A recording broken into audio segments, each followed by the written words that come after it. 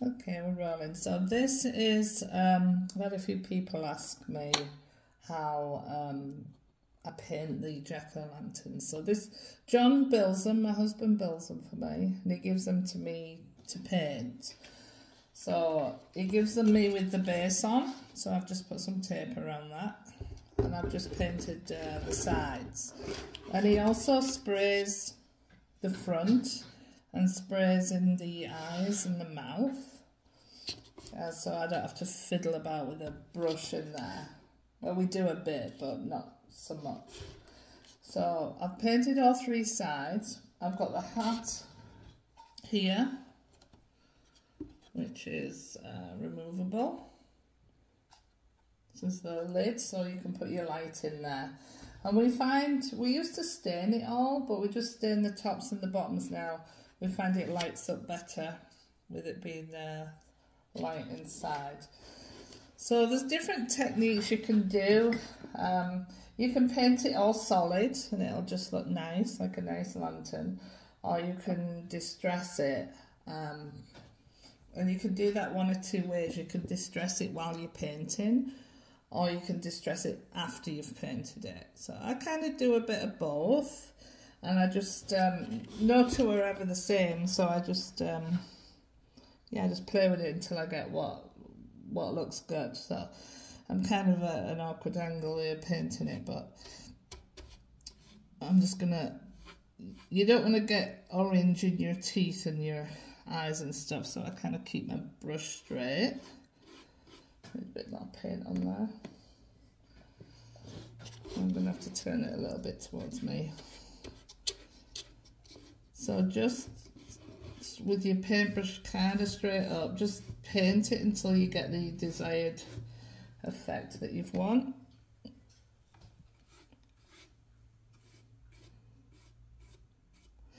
And if you do get some inside your eyes and stuff, you can always uh, um, grab a baby wipe and just wipe that off. You want to be careful around the teeth. See that. I don't know if you can see but like here. Like I like that bit there how it's gone there so I'll keep that.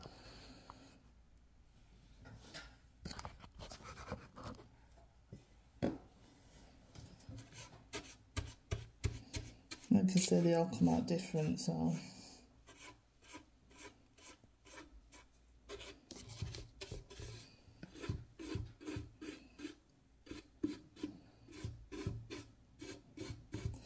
And there's no right or wrong way of doing it.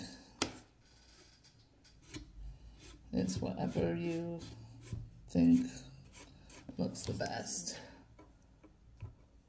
A bit, little extra bits there. Okay, so you could either leave it like that, and I do leave, um, I don't know if you can see that, I do leave some of them like this. Or you can go for an even more scarier look. So what we're going to do is I'm just going to dry the front of it.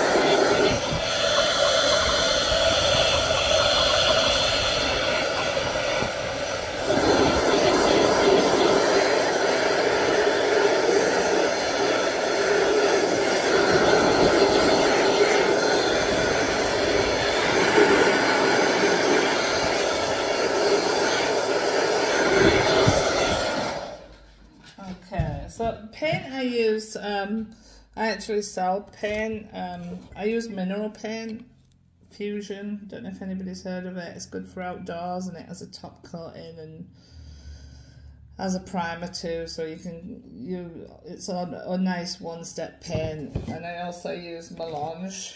This is a really nice colour from Melange, a nice fall colour. Uh, so um, so that's about dry there. Uh, the wood, uh, this is an 8 inch. Um, there's no really no right way or wrong way to do it. It's whatever size you want to do them. This one's the largest one we do at 12 inches.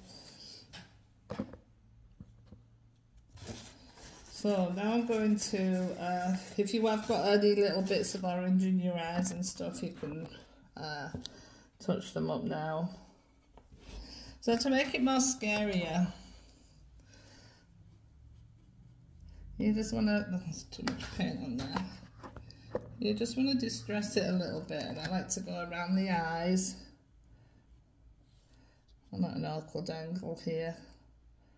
It's much quicker when I can do it straight on. But just go around the eyes until you get your what you feel good when you're happy with it.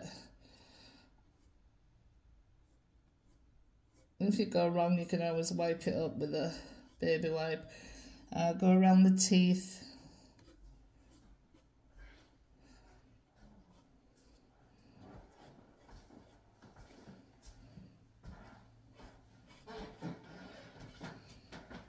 And the nose. Some people like them scary and some people like them just solid, so it's just personal preference. We sell both. And I like to just pull it down at the top a little bit. And the bottom.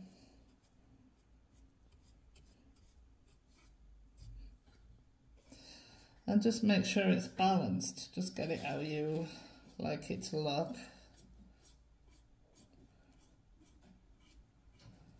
You go wrong, just let it dry and paint it over again. I'm just using a flat brush, but you can really use any brush. You want a smaller one now. Now the darker you do it, the more scarier it's going to look. So I'm quite happy with that. Don't know if you can see it there.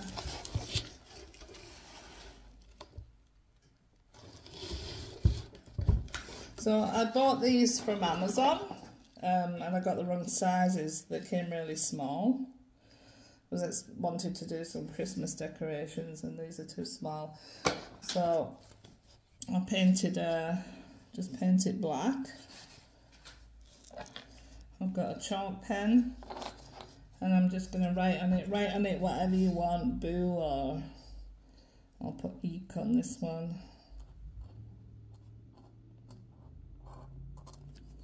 Like that. Get some, uh, where's my string? What did I do with my string?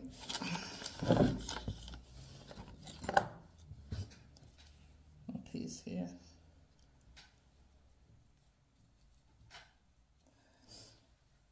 This string is a bit tight for the hole, but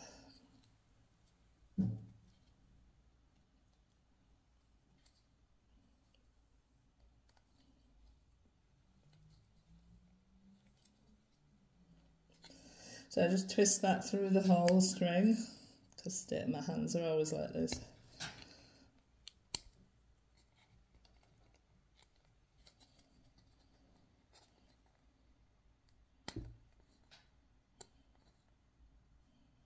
Fighting with this one. Twist it a bit more. There we go. And then just thread that through there. Like this. And then I'm going to put that on the hat. Just gives it a little extra touch. I'm going to tie that to the hat.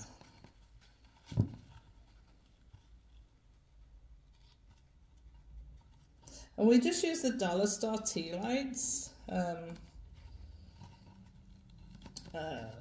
they work great, they really light up the faces. So the hat sits on. Yeah. Take the tape off.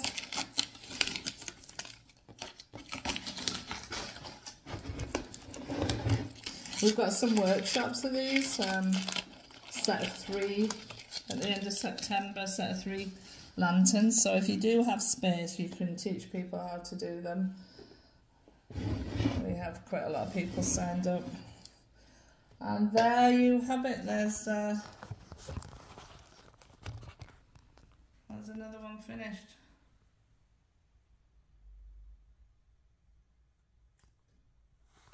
Might be better that way. Oh, got a load of them outside there. Okay, thanks for watching.